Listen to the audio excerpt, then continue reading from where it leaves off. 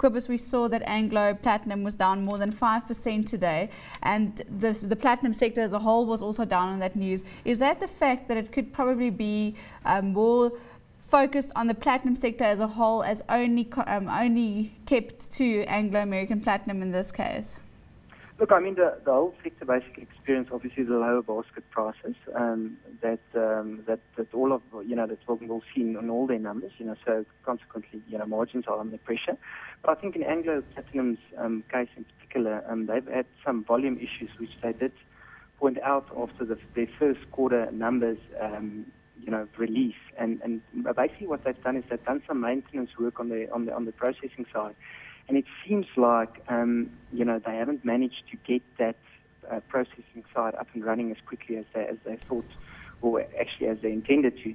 And um, I think what one has seen, um, maybe um, what one will see um, in these numbers um, when they do report the interim results, is that the actual uh, metal sold is much lower maybe than a lot of people anticipated and, and obviously that, that feeds through um, to you know to the bottom line in terms of, of, of earnings, you know, and prices also, you know, they, they did make mention of that as well, um, that it's under pressure, um, and as we know, you know, the whole industry at, at, at the moment is, um, um, is, is under pressure. That's right. We saw the drop in, in Lonmin's first half earnings coming out in, uh, for till the end of March, and that was down by 1.2 of 120 percent from the from the previous six months. Um, so it looks like the whole industry is experiencing this cost pressure coming from different areas. We know that that power has been a significant driver in cost for these mines, um, and that also affects, like you mentioned earlier, the fact that they when they do maintenance, that is a big driver there as well. Then also we see the government intervention there with the safety stoppages. How big an effect do you think that had on this this um, trading update today? Look, I mean, you know, you're right. I, I guess if one sort of look at, at, at Stats SA mining figure, in particular the PGM space, one can see, you know, the the, the numbers since the beginning of this year as as as um, as being um, in the in the deep red. You know, it's been, uh, you know, very big negative numbers that sort of come out on a year-on-year basis. So, and I think you know, almost like every company had their specific issues. You know, obviously on Impala's side, it has been the the six-week strike um, that they experienced um, that cost them about two and a half billion rand.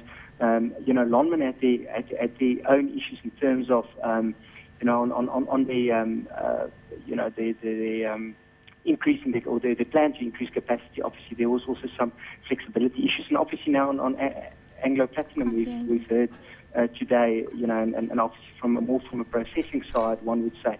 But I think, you know, in general, um, you know, safety stoppages that we've seen, you know, sort of the, the, the rate of, of occurrences during um, quarter four last year, maybe the start of quarter one year, uh, quarter, quarter one this year has actually improved. Um, you know, so I think from that perspective, um, you know, it is a little bit better, although we have seen obviously a lot of that um, bad news and, and, and, and a lot of downtime sort of still sitting maybe in the numbers that we'll see coming through um, during the first six months um, when the companies do report. And, you know, and I think in general, you know, the companies are looking at the portfolios and, and, and they are looking to, to, to see where, you know, where can they sort of be, um, you know, which areas can they optimize. You know, we've, we all obviously have heard of the of the restructuring that's under uh, in, in, process um, on, on Anglo Platinum that it, that Anglo American is doing as a whole um, on the company. You know, and, and, I think from that side, one will most most most probably see towards Thanks, the second half as well. That was Kobus Nell, mining analyst at Stanlib.